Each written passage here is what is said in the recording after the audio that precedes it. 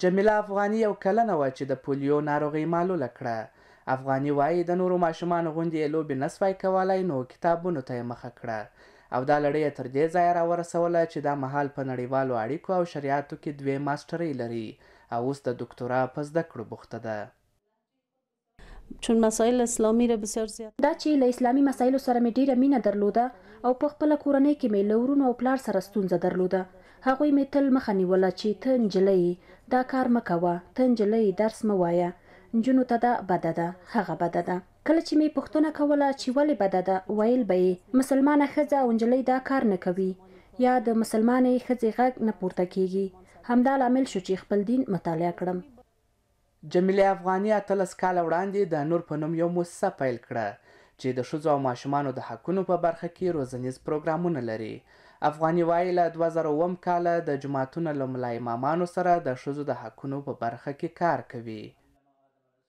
در ابتدا واقعا وقتی که ما کارها را. په پیل کې چې مو له امامانو سره خپل کار پیل کړ، یو لړ ستونزې موجودې وې، ځکه چې هره پدیده چې د ښځو او بشر د حقونو په نوم راځي، داسې فکر کېده چې کومه غربي پدیده ده یا د څو ورځو لپاره کوم پروژه یي کار دی، خو کله چې دوستان متوجه شول چې دا خپله د افغانانو یو ټولنیز کار دی او په دې کې افغان وروڼه او خویندې کار کوي او دا د یوې دیني، ایماني او ټولنیزې وجیبې له مخې کوي، نو د خلکو د منلو وړ شو.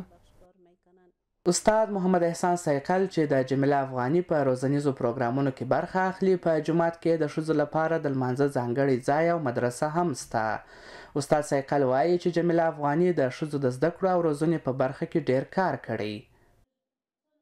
موضوعات مفیدې را مطرح میکنند ګټور موضوعات مطرح کوي. مېرمن جميله په خپل تبليغ او د ښځو د ذهنونو په روښونه کولو کې ډېر پر ځای او ګټور فعاليتونه کوي. په خپل لګښت او زحمت په رښتيني ډول افغان ښځو ته خدمت کوي. بصيره مومند چې نن يې په خپله مدرسه کې د جمعې تر لمانځه وروسته د جميله افغاني وينا اورېدلې، وايي چې د هغې خبرې موږ ته جرات راکوي. موږ ته دا ډېره ښه وه ځکه چې د دوی تاثير په موږ باندې لوېږي لکه چې هغوی موږ ته. تشویقوي او موږ هم کولی شو د هغوی له دې تشویق څخه ډېرې پوهې او ډېر داسې جراتونه تر لاسه کړو. جمیلې افغاني د ښه مذهبي رول له امله درې نړیوالې جایزې اخیستي او دا مهال دوو نورو ته کاندیده ده. افغاني وايي چې د اریزونا پوهنتون یوې پروفیسرې ایلګیچ د دې پر ژوند یو کتاب لیکلی چې په نږدې وخت کې به په پښتو او دري هم چاپ شي.